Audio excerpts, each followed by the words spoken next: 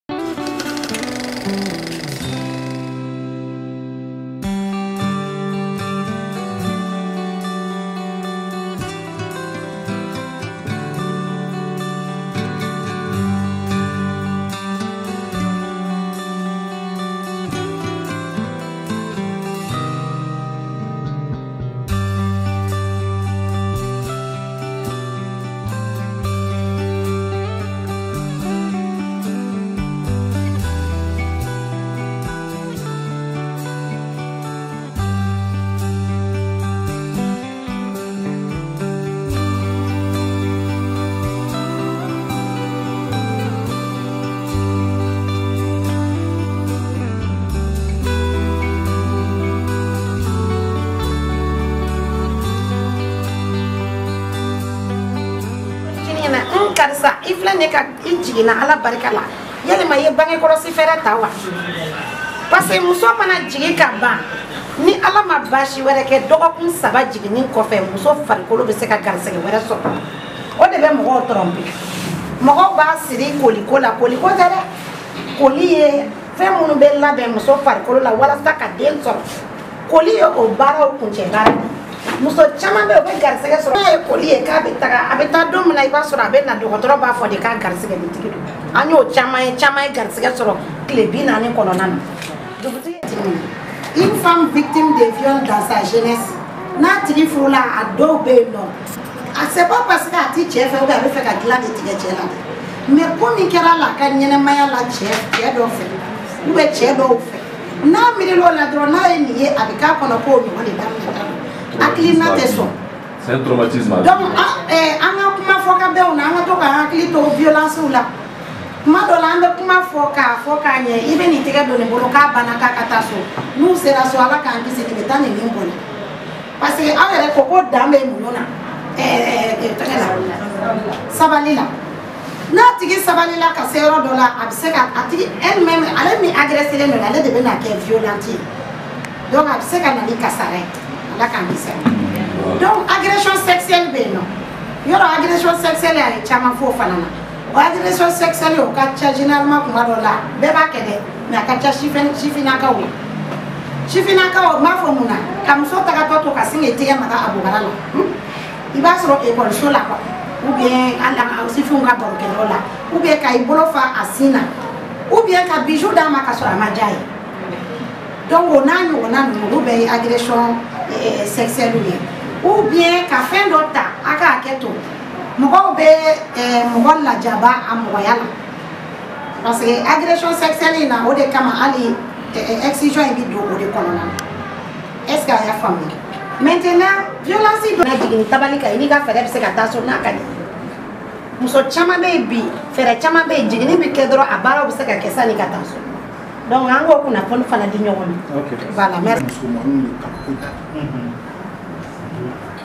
ils oublient les garçons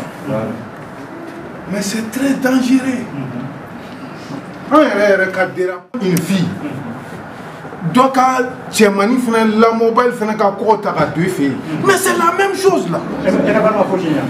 mais c'est clair c'est-à-dire en réalité moi eh, bon en quelque sorte fɛn min de don an mɛnna la on a vu beaucoup de choses dalagoya o kura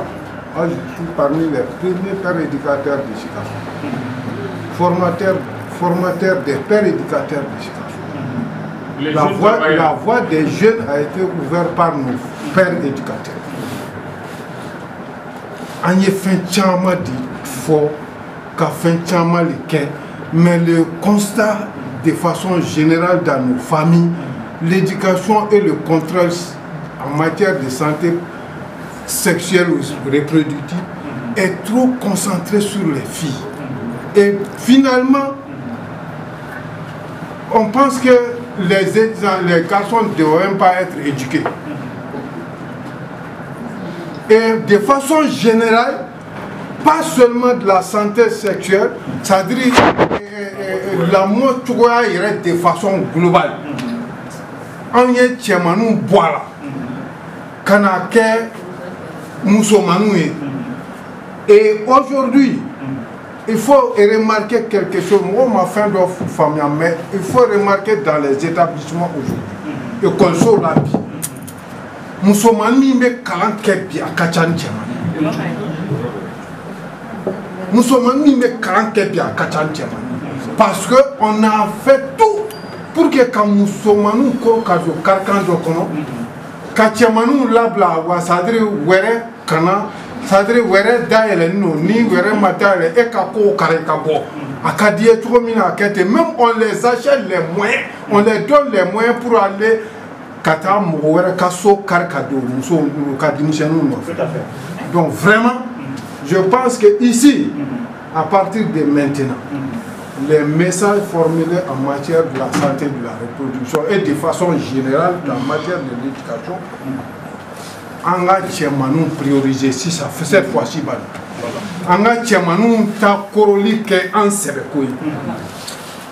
Et puis cɛmaniw ka kɔrɔli kɔnɔna na que nous les papas jouent le rôle parce que en réalité cɛmani ma se san tan ni kelen san tan ni fila san tan ni saba il ne considère pas la maman comme vraiment quelque mɔgɔ min ni a ka kuma ka kan ka lamɛn parce que an ka société la on a montré au an y'a yira cɛ de ye cɛ ye ko hali ni cɛnin ye denmisɛnnin fitinin ye so kɔnɔ k'ale de ye gatigi ye o bɛ se ka kɛ cogo di.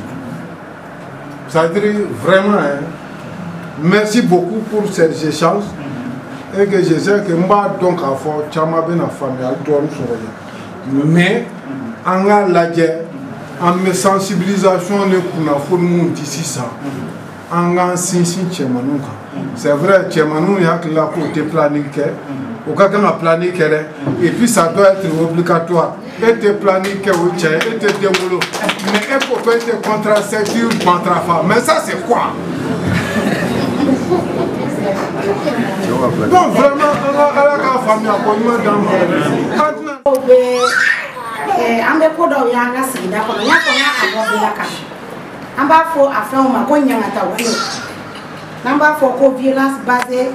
sur le genre ne bolo hali kuma ninnu kɔnɔna na n'i y'a analyser ɲangata walew b'a la an ye fɛn caman fɔ fa min bɛ den empêcher ka kuma fɛ ba min bɛ den empêcher ka kuma fɛ e fanga de bɛ se den in na o kama e b'a empêcher ka kuma fɛ n'i ye den in bila e place la i ye mun kɛ den in na n'a y'a k'i la Ayiwa a tɛ bɛn o de n bɛ da don o la mɛ ne kelen tɛ parce que an bɛɛ de b'a kɛ ɲɔgɔn fɛ ba y'a fɔ so in kɔnɔ dɔnya bɛ bɛɛ de la yan bɛɛ ka bɛɛ se kafɛnsi kɛ nin ko ka sa nin kɔnɔ ɲagata wale komi aw yɛrɛ y'a dɔn an b'a fɔ kuma kuma ne de se bɛ ko dɔ la i kɛra cɛ ye kɛra muso ye e k'i i ka sebagaya boli dɔ kan fɛn dɔ ta ka bɔ a bɛ tɛmɛ sira bɛɛ fɛ même sugu la même au marché ne bɛ se ka taa sanni kɛ ale bolo sisan nɔ ale de ye fɛntigi ye mais i b'a sɔrɔ fɛn dɔ kama ale min ye fɛntigi ye a b'a ka sebagaya boli ne kan a bɛ ne ɲagata wa a tɛ ne ɲagata a bɛ ɲagata donc aw yɛrɛ bolo o ɲagata wale ninnu an ka sigidaw la bi bi in na anw minnu bɛ sali nin kɔnɔ yan nɔ an ka taa wale ninnu an bɛ jumaw ni jumaw de ye an ka sigida la ka caya ne b'o ɲininkali sɛnɛ e sabalila a kuncɛ yɔrɔ la ne ma muɲu ah. sabali ma mako ɲa bilen i b'a sɔrɔ tɔ ka jɛ numu muso ka sabali mun na kun dɔ b'a la muso jigi tɛ caya abadan muso jigi tɛ cɛ ye dɛ kalo don muso jigi ye den de ye muso bɛna o bɛna muso jigi ya a den de ye mun na n ko mun na n ye kuma in fɔ ka d'a kan hali sini cɛ bɛ se ka ɲɛbɔ muso wɛrɛ fɛ a b'a ta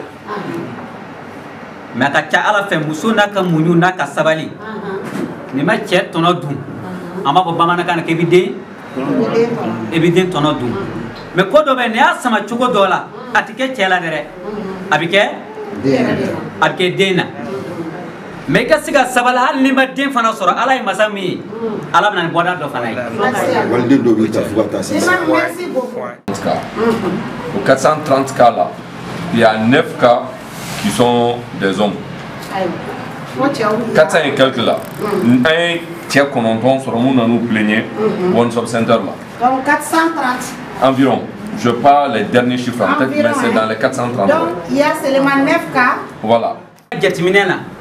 a fanba bɛɛ lajɛlen i bɛ taa sɔrɔ muso de jo t'a la parce que a dan de ye o ka taa i sigi k'a fɔ ko alimami ni nin kɛra e la e bɛ sɔn wa ou bien e tɛ sɔn e yɛrɛ b'a dɔn ne yɛrɛ de don a ti e a ti a ti bɛn e ma k'a bɛ kuma u bɛ u b'a u b'a kunkolo suru dɛ a bɛ kun suru ni muso ye filiko kɛmɛ kɛmɛ kɛ ɛ cɛ ye filiko kɛmɛ kɛ ni muso ye bi duuru kɛ muso ta ka jugu ni cɛ ta ye Donc c'est un constat. Ah voilà, quand on peut dire ayi cɛ ta ti ye joona quoi. Cɛ ta bɛ se ka mɛn mais cɛ cɛ ta ti ye. Mais ni muso ye fitini kɛ cogo dɔ la, muso ta bɛ se ka bange ka tɛmɛ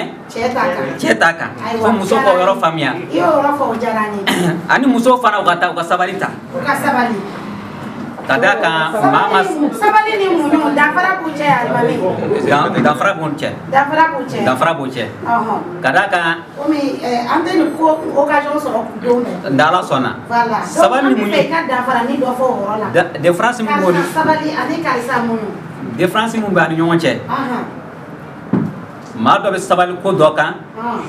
a bɛ taa se degere dɔ la a tɛ se k'a tɔ ko tuguni bilen a fɛn fila bɔn don ɲɔgɔn fɛ ale kan ka muɲu mun kɛ sisan a ka sabali jan in na o le b'a ka ko tɔ masiri sisan mɛ a ye ni sabali jan badenba in kɛ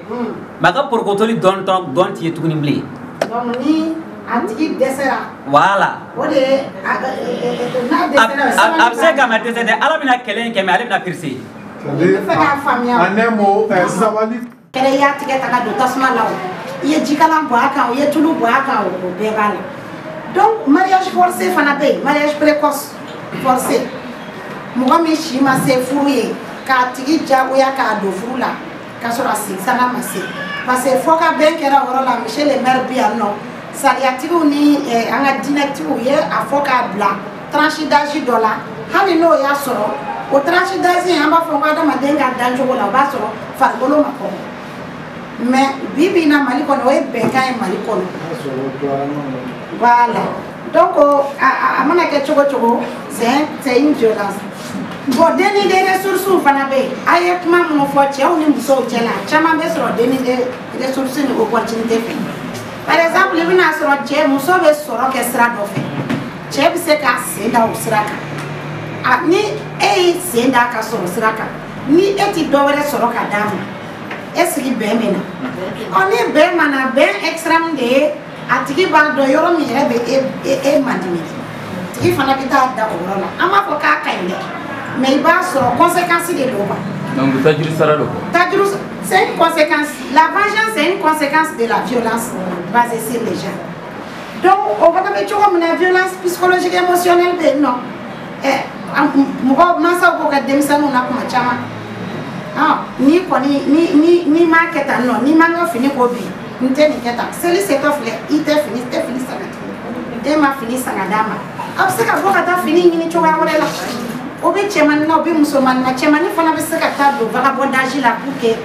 ka wari ɲini donc pour vous dire que an bɛ ko ko la diɲɛlatigɛ la an k'an janto mais monsieur le maire ka commentaire la ko ko an ka fɛn k'an ka fɛn de monsieur le maire an ka fɛn tɛ dɛ an bɛɛ ta de don an y'a ye sisan k'a bɛ sigida de la adamaden i ka ɲɛnamaya n'i ka saya cɛ bɛɛ kan k'i seko kɛ papiyew don papiyew tɛ ni ɲagata walew tun bɛ yen wa mɔgɔw tun bɛ solution sɔrɔ a la parce que mun de don a bɛ karisa kan bi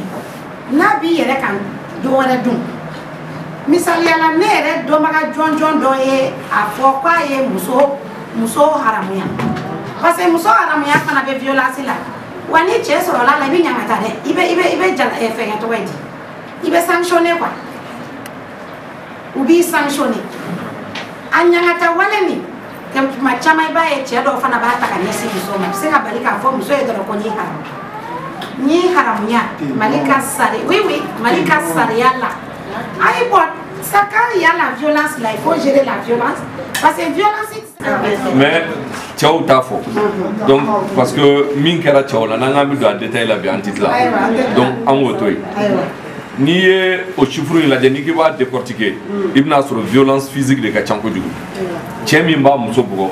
walima cɛ kɔrɔkɛ k'a dɔgɔkɛ muso bugɔ walima dɔgɔkɛ k'a kɔrɔkɛ muso bugɔ o k'a caman bɛ se ka soya o de bi tɛ tila ni o bɔra yen ee euh, comment on appelle ça encore là violence émotionnelle je crois que gaku y'a fɔ sininkan dɔgɔyali nɛni fantanden kɔngɔtɔden ne bɛ ta don min a bɛ ta a bɛ ta a bɛ ta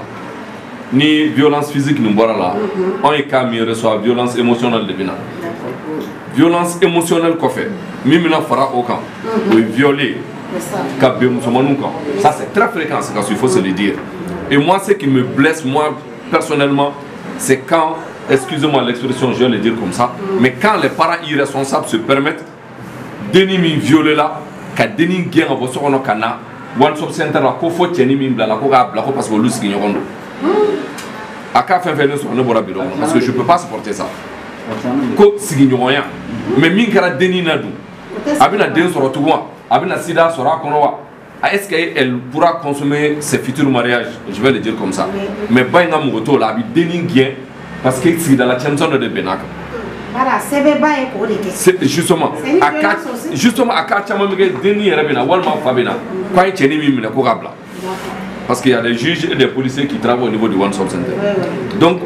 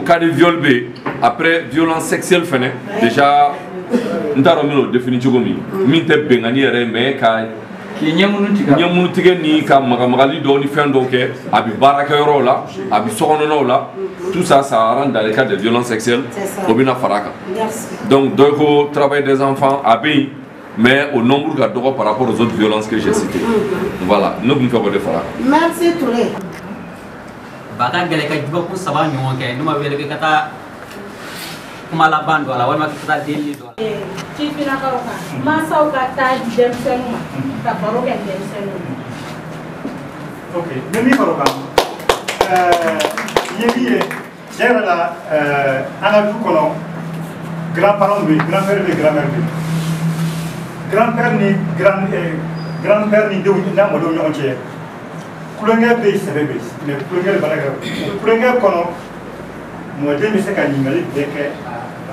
cɛ la mɔgɔ cɛ fana bɛ se ka tan dɔ sɔrɔ tulonkɛ kɔnɔ a hakilila tan minnu ye perepare den labɛn ka sini kɔnɔ o bɛ se k'o fɔ ye o tan ninnu sɔrɔ fana kɔnɔ ɛ an fɛ yan kuma caman su mana kɔrɔba mɔgɔ den minnu yɔrɔ sɔrɔ muso fɛ yen a ka ga kɔrɔ o baro kɔnɔ a bɛ se ka a bilasira karimasina a sira ye a fara sira ye a fara ye hali min ye laada saniya a bɛ se k'a bɛɛ fɔ a ye a ko o baro kɔnɔ donc muso bɛ se ka gɛlɛn don bɛ se ka mɔgɔ dɔ bɛ gɛrɛ muso la u bɛ baro kɛ kulonkɛ kɔnɔ u bɛ se ka baro se ɲɔgɔn ma mɔcɛ fana ani mɔdenw kulonkɛ fana kɔnɔ fana u bɛ se ka kunnafoni di ɲɔgɔn ma mɛ famille dɔ yɛrɛ bɛ yen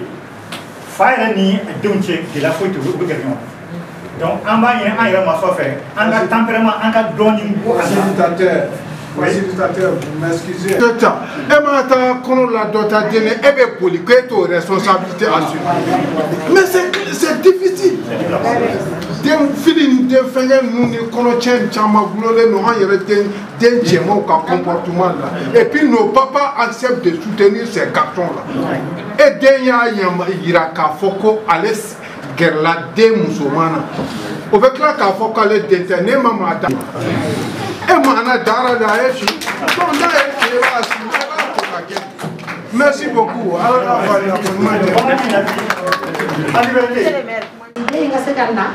ka sɔrɔ baasi tɛ a la donc droit dɔ fana ye sécurité est ce que ni binganiya wali ka ca sigida la an dɔ bɛ sécurité la an tɛ sécurité la dɛ i b'a fɔ k'a kɛra nin den na bi sini ala k'an kisi i yɛrɛ bɛ se ka bɔ baara la ka na sɔrɔ donc o de kama fɔ ko ni binganikɛla b'an ka sigida la an ka fɛɛrɛ bɛɛ kɛ an k'a tigi ko fɔ bingani hali n'a kɛra min na n'o ma taa fɔ ni e min bɛ sigida la ne ye y'a mɛn taga ko fɔ parce que n'i m'a ko fɔ binkannikɛla bɛ se ka na ni kojugu caman ye ture ye min fɔ banaw b'a la kɔnɔmayaw b'a la min ma d'a tigi ye o kɔnɔmaya bɛ se ka na ni kɔlɔlɔ wɛrɛ ye hali ka kɛ ni hali ka a tigi bonya a ni na donc dɔ fana ye ka adamaden ka mɔgɔninfinw fɛrɛfɛrɛ ka bɔ ɲɔgɔn na c'est à dire ka u si ka wolomali kɛ quoi n'an b'a fɔ ko siyala woloma aa ninnu ye ninnu de ye dɛ anw ni ninnu tɛ kelen ye dɛ ou bien ninnu ye anw ka jɔn de ye dɛ ninnu ye anw ka nin ye bon dans notre société fɛn caman tun bɛ yen nɔ mais ni droit de l'homme nana droit de l'homme c'est universel cela veut dire que hali i bɛ ko dɔ kɛ mɔgɔ la mali kɔnɔ yan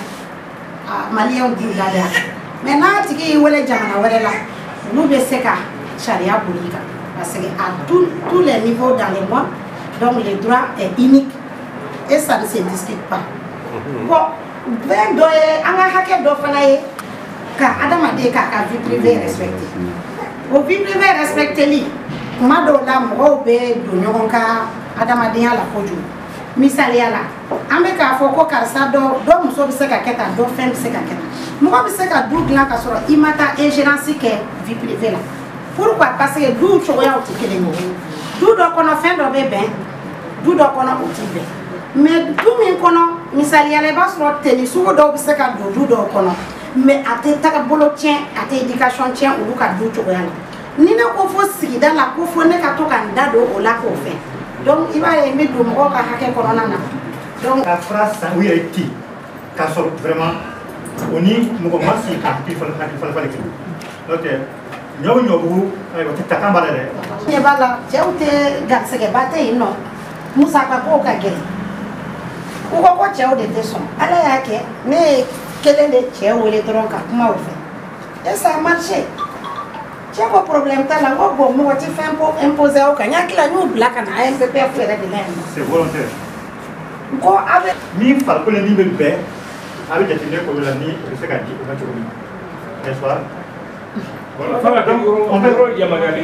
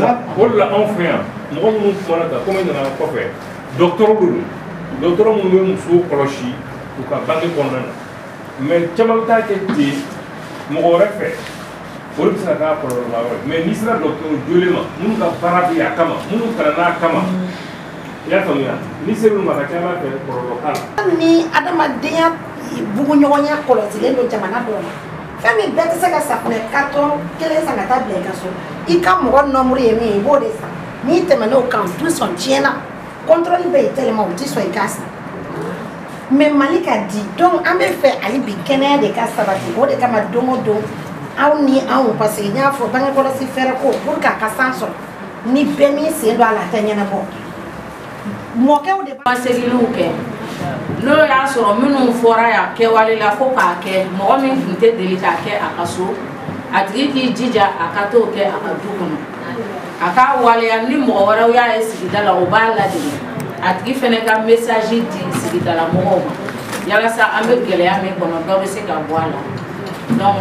an tun bɛ yan bi o hukumu de kɔnɔna laɲini ye min ye o de ye o ye donc mɔgɔ si kana taa sigi k'i da de k'i bolo bila i sen kan donc ni aw bɛɛ taara aw ka so ni a y'a dɔn k'a fɔ min fɔra aw ye a bɛ se ka min k'a la a k'o k'a la o bɛ anw ka laɲini sabati a bɛ se k'a to an bɛ nin ɲɔgɔnna wɛrɛw boloda anw minnu bɛ yan an delila ka ni ɲɔgɔn caman kɛ dɔw bɛ yan olu ma deli ka na a kɛ donc ni kunnafoni bɛ carila o cogo la i b'a ye a bɛ taa laɲini ye min ye o bɛ se ka sabati ɔ an bɛ foli kɛ aw la min ma aw natɔ sɔrɔ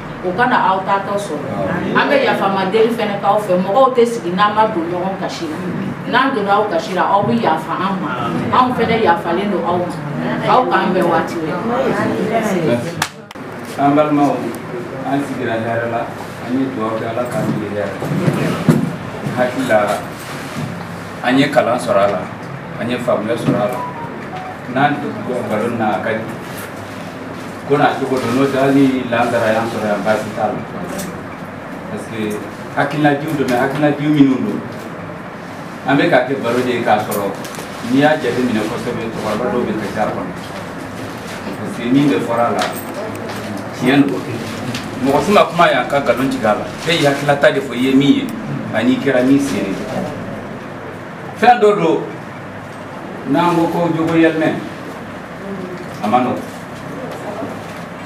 mɛ diyagoya dɔ fana f'an ka jogow yɛlɛma jogo yɛlɛma ye jumɛn ye minnu ka ɲi an b'olu ta minnu b'a la n'a ma ɲɛ an b'olu bila donc an fɛn fɛn tun bɛ baro nin kɔnɔ na bɛɛ tɔgɔ la an kalanfa an b'a fo a bɛ se ka mɔgɔ kalan hali n'i ko k'i ye san kɛmɛ k'a la an t'i sɔsɔ parce que i tɛ dimi i tɛ perese i ka hakilina ye min ye i b'a fɔ bɛɛ y'a faamu fana ne bɛ min gɛlɛya an kalandenw ma an k'an jija n'an sera bɛɛ k'a kɔmasegin kɛ a ma fɔ i k'a bɛɛ kɔmasegin kɛ mɛ i sera ka hakili to min na hali n'a kɛra lakun ɲɛ kelen ye i k'o fɔ dɔ ɲɛna n'o fana y'a fɔ dɔ ɲɛna mɛ fo cogo bɛ kuma na dɛ a y'a to an k'a fɔ ka ɲɛ nafa b'o de la ala k'an bɛɛ sababa ka bɛɛ fo dɔgɔtɔrɔ n b'aw fo ture k'aw fo kosɛbɛ parce que an y'a ka gari kidara kan sanga ni waati an b'aw fo dugutigi nin ye ka garijɛgɛ ɲuman de ye